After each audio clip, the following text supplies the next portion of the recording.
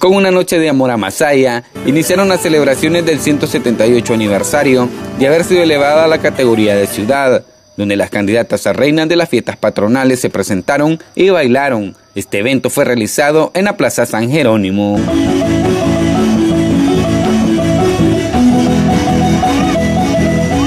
La Diana con el sonido de filarmónicos y morteros saludaron a Masaya y en una misa dieron gracias a Dios por el 178 aniversario de ser ciudad, seguido un recorrido que concluyó en la calle del costado este del Parque Central, donde se entregó reconocimientos a seis hijos dilectos y 14 orgullos de mi municipio. Y nos recuerda cómo hemos venido fortaleciendo y desarrollando la cultura, la identidad, el folclore en nuestra niñez y en nuestra juventud.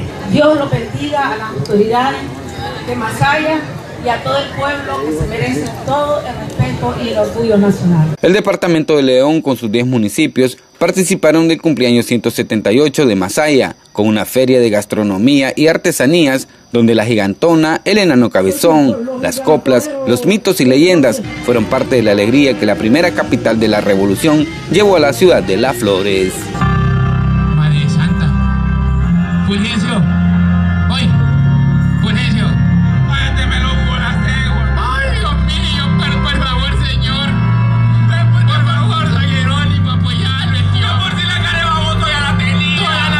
la vida. La actividad fue promovida por el gobierno, que preside el comandante Daniel Ortega Saavedra y la compañera Rosario Murillo, vicepresidenta de Nicaragua, a través del Instituto Nicaragüense de Turismo y la alcaldía de la ciudad de Las Flores. Desde más allá les informó Alan Gutiérrez Paniagua.